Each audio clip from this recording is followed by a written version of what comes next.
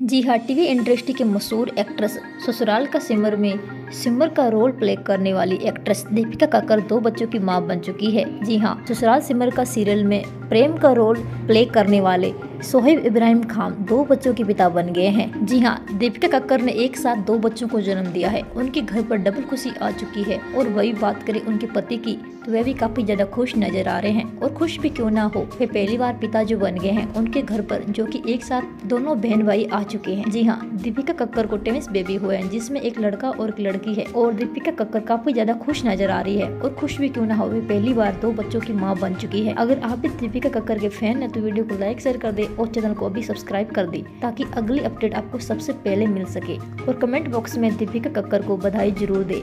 दीपिका कक्कर और उनके बेबी बिल्कुल स्वस्थ है और बहुत जल्द उन्हें डिस्चार्ज भी कर दिया जाएगा। फ़िलहाल दीपिका कक्कर अपने बेबी बॉय का और अपनी बेबी गर्ल का नाम खोज रही है।